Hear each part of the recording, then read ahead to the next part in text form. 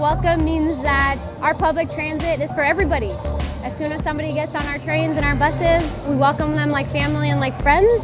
We make them feel uh, like they fit in and they're part of our community. I think it means just being able to be who you are regardless of your gender expression or your sexual orientation or your racial identity as well. Just knowing that as you are right now that you're welcome and you know, you don't have to change any of that.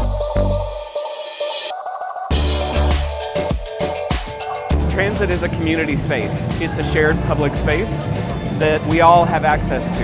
And it's very important that space be safe and welcoming for everyone on board. When you come to get on a bus or a light rail train or lift or commuter rail, it doesn't matter who you are, where you're from, or who you love. You're welcome to join us. Be a rider. Besides the fact that you know we have plenty of employees who are gay and lesbian, we have those of us that are transgender. I came out on the job almost four years ago. And I never had anybody use offensive language to me, threaten my life. I haven't been called anything terrible, and I interact with the public at large every day.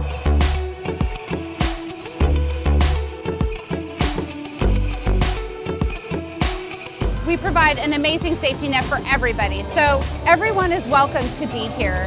We have so many diverse groups of people, and it's wonderful to see all those people coming together and being able to just be free to be themselves.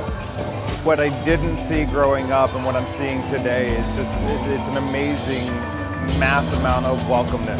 And that warms me, it brings emotions, it just brings everything to, to the surface. It's amazing, I love it. Transit connects our community, it connects all of our places, our homes, um, our second homes, our work, our jobs, our fun recreational areas. So knowing that everybody's welcome to jump on the bus or the train and go where they want to go and not be afraid or feel unwelcome is crucial for making this a beautiful place to live.